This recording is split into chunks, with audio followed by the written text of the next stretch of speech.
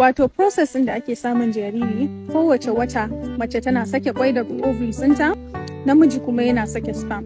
To sperm da namiji yake sakewa fa suna kaiwa miliyan ɗari. So a nan miliyan ɗari ɗin su ne za su jefa ana tsere competition ne abin wanda ya riga isa wajen da kwai yake ya fara taɓa kwai shine yake nasara. Dama naturally yanda Allah ya abin shi mata suna relax ne maza ne suke ce su. So a wannan sperm miliyan ɗari ɗin competition ne shine za a yi tsere a ga waye zai riga isa wajen kwai. Wanda ya riga isa wajen kwai a cikin sperm miliyan ɗari ɗin nan yana fara taɓa kwai akwai wani chemical inda zai release ya sa kwan yayi kauri yanda ko sauran sperms sun zo ba za su iya penetrating ba ba za su iya shiga ba. Wato shi yayi nasara kenan shi ya samu kwai shi zai je ya fertilizing kwai ya shiga cikin kwai kenan su sharing DNA sannan jariri ya haɗu.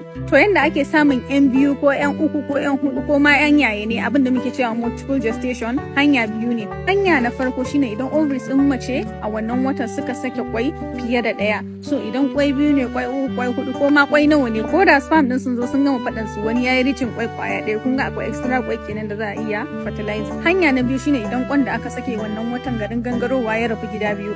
Akwai matan da suke sake kwai fiye da ɗaya a wata so kun ga irin wayannan mata za su samu yan biyu yan uku yan huɗu ko ma yan wane ne. Wannan ba wai control ne ake ba. It can also be genetic. Za ku ga wata rana a wani family za ku ga suna ta samun yan biyu. Wannan duka it can be genetic. Medically a likitance wasu hanyoyin da za a iya samun yan biyu shine kamar matan da suke da dan matsalan aihuwa ake ba su maganin da yake taimakawa ma ovulation. So wata rana wayannan magungunan za su iya sa mata su sake kwai fiye da ɗaya. Sannan wata nan an zo IVF ma wato test baby yadda muka yi bayani. Ana cire kwai ne daga cikin mace a hada da sperm a test tube sai daga baya in ya zama jariri a makala mata a mahaifa. So wata aka zo makalawan abin da muke cewa embryo transfer akan saka fiye da ɗaya. So akan sa mata ƙwaya biyu ko ƙwaya uku saboda wata rana zai iya failing wata rana kuma choice ɗin mace ne take so.